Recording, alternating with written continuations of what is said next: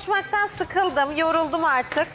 Ee, Yeşim'cim, şimdi senin düğününü izledik, e, evlenme teklifini izledik. Güzeldi de ben evini çok merak ediyorum. Bu kadar şaşalı, güzel giyinen bir insan nasıl bir evde yaşıyor çok merak ettim. Benim merak edeceğinizi ve ettiğinizi zaten biliyorum. Ben bunları düşündüğüm için önceden videosunu zaten çektim ve getirdim. Ama maalesef tam istediğim gibi yüzde yüz benim zevkime uygun oldu diyemeyeceğim. Sağ olsun. Neden?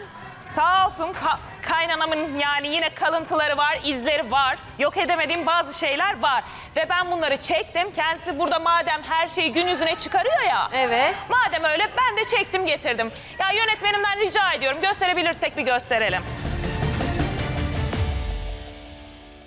Hanımlar merhaba. Bugün size evimi gezdirmek istiyorum. Öncelikle salonla başlayalım. Şöyle girdiğimiz zaman hemen sol tarafta bizi büyük bir akvaryum karşılıyor. İçerisinde 50'ye yakın piranamız var. Hepsi etçil. Hemen sağ tarafa dönelim. Burada da siyah, beyaz ve ahşap ağırlıklı bir salonumuz var. Çok fazla abartmayı sevmiyorum. Biraz sade olmasını seviyorum. Salonum da bu şekilde. Şöyle uzun minik bir mutfağım var. Tam karşıda da siyah bir televizyon var. Kaynanamın evlendiğimden beri gözünü diktiği televizyon diyebiliriz.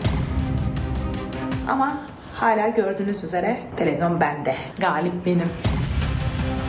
Şurası da şu alanda çok orayla ilgilenmek istemiyorum. Oraya girmek istemiyorum. Neden diye soracaksınız biliyorum. Benim kayınvalidem sağ olsun.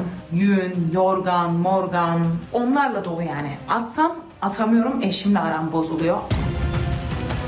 Atmasam sürekli taşıdığım her yere götürdüğüm eşyalar, yükler benimle birlikte maalesef böyle geliyorlar. Hiçbir zaman da kullanmayacağım. Mini bir banyomuz var. Hemen bu tarafa geçtiğimiz zaman da yatak odasına giriyoruz. Gördüğünüz üzere şurada bir şey var. Benim peşime evlendiğimden beri bırakmayan şunlar. Benle birlikte her yere geliyorlar. İşlevi var mı? Hayır. Kullanışı var mı? Hayır.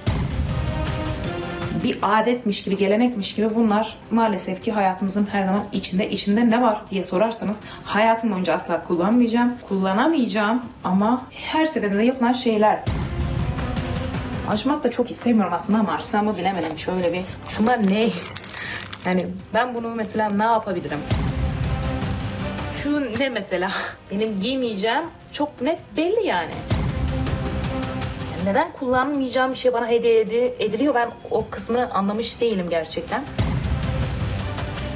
Şu örtüler, çarşaflar bazılarını hatırlamıyorum bile ne olduğunu bile bilmiyorum. Ama dolu, yığılı diyebilirim. Evim bu kadar küçük, sade bence. Programda görüşmek dileğiyle. Kendinize iyi bakın. Vallahi bir şey söyleyeyim mi? Yine her zamanki klasik bir Yeşim. Yine kendini övdüğü gibi evini de abartı abartı övmüş. Halbuki böyle çok da abartılacak bir şey yok evinde yani.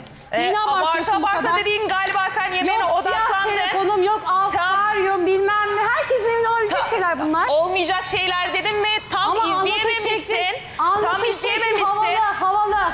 Sen Yeşim'in evini mi beğenmedin? Çekemiyor Yok. musun sen Yeşim'i? Ne alakası var Bence sen kızım? Yeşim'i çekemiyorsun. Sen Ya onun evi varsa benim de evim var. Bir Sen Yeşim'i. Allah Allah. sen Yeşim'i kıskanıyorsun Yaren.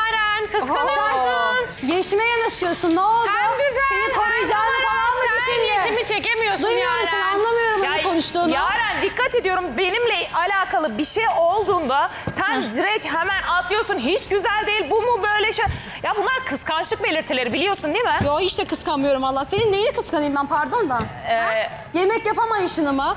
Konuşamamanı mı? Adapte olamamanı mı? Neyini kıskanacağım ben seni pardon? Ee, Daha yemek yapmayı sen- bilmiyorsun. Yemeğini yetiştiremiyorsun. Bak önce bir yemeğini yap, yetiştir ondan sonra benimle muhatap Ee, ol. lafın bitsin, Benim gireceğim. seviyeme geldikten sonra konuş benimle. e, lafın bitsin gireceğim.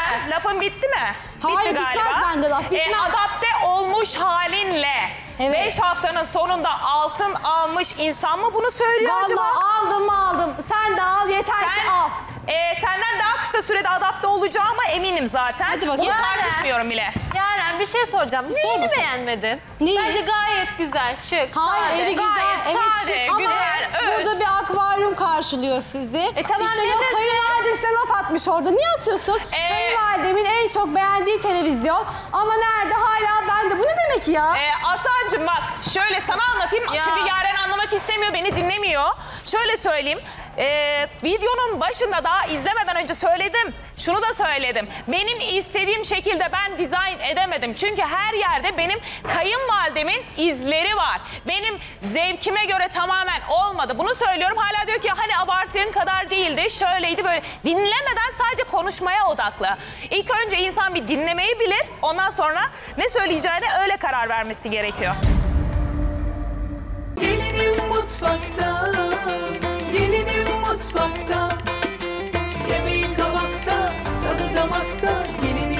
fucked up.